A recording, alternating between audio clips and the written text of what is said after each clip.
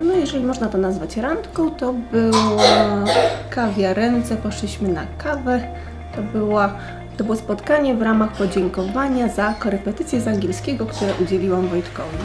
No pierwsza randka e, to wydaje mi się, że była. e, Chciałem, e, zaprosiłem Kasię do restauracji pod teatrem w Olsztynie w ramach odwdzięczenia się za korepetycję z angielskiego.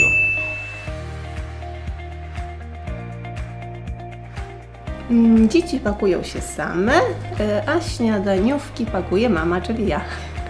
Dzieci same się pakują do szkoły generalnie, oczywiście do plecaków, a śniadaniówki przygotowuje e, Kasia, e, a ja robię śniadanko rano. Po imieniu, ale mamy takie pieszczotliwe jedno, jeden zwrot, malutka. Malutka.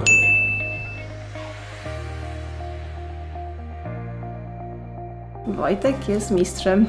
Próbuję mu dorównać, ale jeszcze mi brakuje. Wydaje mi się, że ja więcej żartuję, ale czy mam lepsze, to ciężko powiedzieć.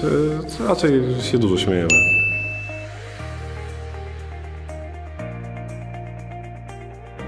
Ja. 100%. No zdecydowanie Kasia. Tutaj proste pytanie.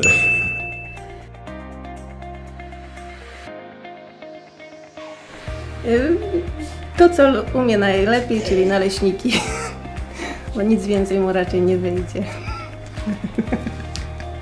Nie wiem, co ona by chciała, ale ja bym, to co ja bym chciał zrobić, no to e, tutaj może te, pokusiłbym się o te żabie łódka, e, których, których uczyliśmy się w hotelu Hafner. E, Wszystko jeszcze mam świeżo w pamięci, więc może by wyszło.